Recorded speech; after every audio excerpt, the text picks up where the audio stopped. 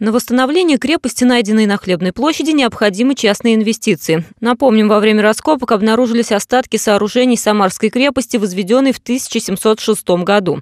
Ранее о ее существовании было известно только по историческим документам. Теперь у специалистов появились наглядные свидетельства. Архитекторы уже предлагают проекты, как законсервировать уникальную находку и сделать ее достоянием всех самарцев. Получается так, что мы накрываем реальный, э, реально раскопанный артефакт, накрываем э, направлением таким стеклянным павильоном э, и э, восстанавливаем ров внутри.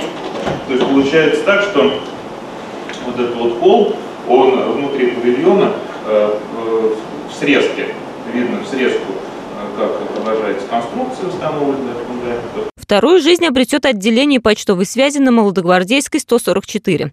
Этот дом построил купец Иванов 120 лет назад. В планах открыть здесь почтовые ретро-отделения. Служащих переодеть в форму 19 века, воссоздать интерьер того времени, использовать старинные письменные принадлежности. Вокруг здания обустроить булыжную мостовую. Деньги на этот проект выделяет Почта России. Задача в том, чтобы максимально а, все федеральные ведомства, имеющие на нашей территории объекты культурного наследия э, участвовали в их софинансировании и восстановлении. На территории города более 300 памятников историко-культурного наследия. Сейчас большее внимание федеральным объектам, но и муниципальные тоже приводят в порядок. Многие предприятия города уже изъявили желание финансировать реконструкцию старинных домов. Александр Хинштейн отметил, в этом деле важна консолидация уровней власти. Тогда городские памятники будут приведены в порядок к 2018 году.